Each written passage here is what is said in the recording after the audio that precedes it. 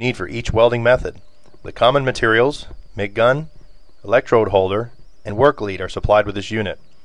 The TIG torch is an optional accessory that can be purchased from your local Thermal-Arc distributor. Your base material, the material thickness, and the filler metal will help you choose the best welding method.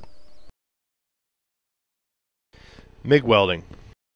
You will need to decide what wire and shielding gas combination will be needed. Match the wire material type with the base material you are welding.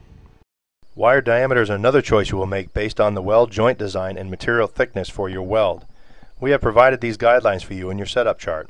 See the operation manual for specific wire sizes and recommendations. Generally these units can run on wire diameters from .023 to .035. Wire spools typically come in sizes of 8 inch or 4 inch spool diameters.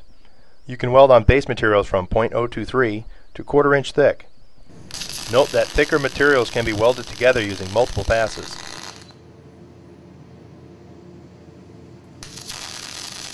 The base material and filler metal determines your shielding gas choice. These recommendations are also provided for you in your setup chart. See the operation manual for details. The shielding gas protects the molten weld puddle from the surrounding atmosphere.